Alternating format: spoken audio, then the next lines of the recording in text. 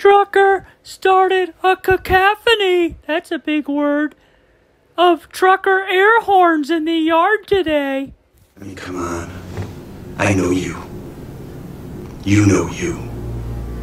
And I know you know that I know you.